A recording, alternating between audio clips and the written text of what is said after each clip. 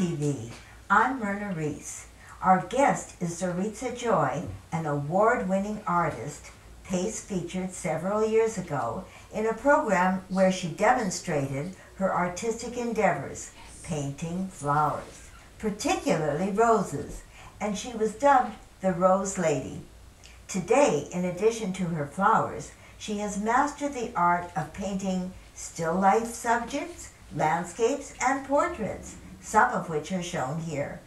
On our program, she will talk about the various fields and will finish a portrait so that you can see and enjoy how it's done. Welcome, Zorica Joy. Thank you so much, Myrna, for having me here today. Now, what? Tell me something. I'm very interested. How long ago did you start painting, and what motivated you?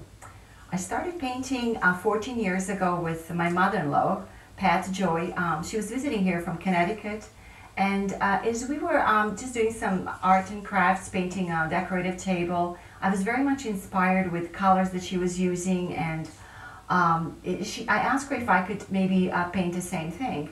And right after I did it, I copied her totally. She says, Zorica, have you ever done this before? And I said, you know, not for a long time. I did it in school, but she said, why, you really have a gift of art. Why don't you just uh, start painting? So that's when my husband um, encouraged me to take some classes with some professional artists. And that's when my career started. Now, what subjects are your favorite to paint? I have to say my favorite subject is roses. As I was a floral artist for five years professionally, um, painting for uh, I think five different galleries at, at that time, um, I just love painting the roses, Myrna. They are so beautiful. I thank God for this great, fabulous gift that He has given me. And I just love to paint. Um, I love to um, dip the brush into my soul and watch them bloom under my brush.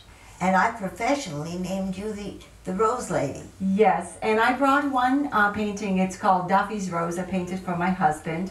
I was only painting a year uh, when I did this, and uh, it's one of my favorite. It's gorgeous. Thank you. Zorica, I know you've won many awards. Please tell us how many did you win and what were they for?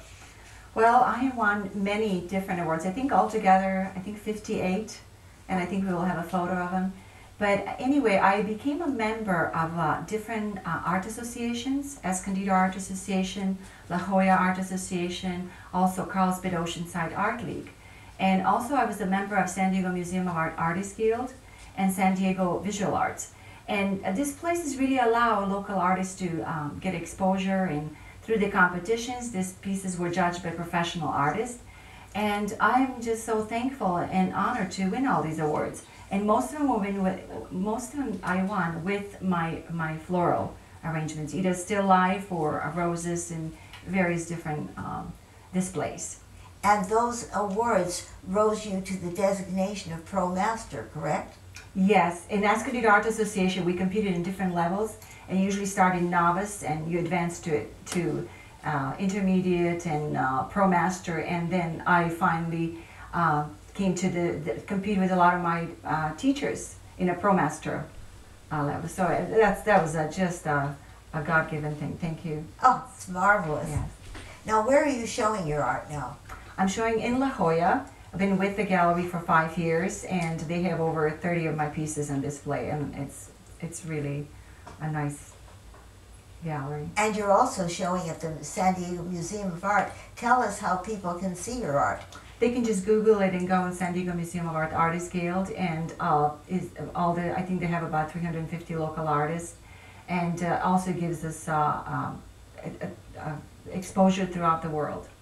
You've made a name for yourself, Zorica. How does it feel to be a successful artist? I have to say that one of the largest, the biggest things that I have done as an artist is uh, we had a, a, show. It was done in the museum. This was like maybe five years ago. They only picked 35 local artists, and uh, that was really fabulous. But uh, I'm really thankful for this gift. It takes a, it, it's, it takes a lot of determination. As I remember my very first um, class that I took with uh, Dwayne Light, a local artist, he told me, he says, you have to remember Zorica four Ds to be a successful artist. You have to have a dream, you have to have a desire, you have to have a determination and a discipline. And you have to have talent. And you do have to have talent, but it's really a lot of hard work. And and I am so thankful to I have been with five different galleries at present time with this gallery in La Jolla. And um, you know, for your art to be, to be sold and loved by many people, I, I think it's it's that's what could make you a successful artist. I think that's marvelous.